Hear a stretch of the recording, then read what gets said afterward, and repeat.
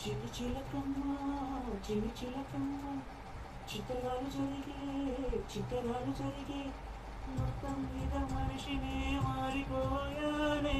కొమ్మ కట్టు పసి మనసు తెలిసింది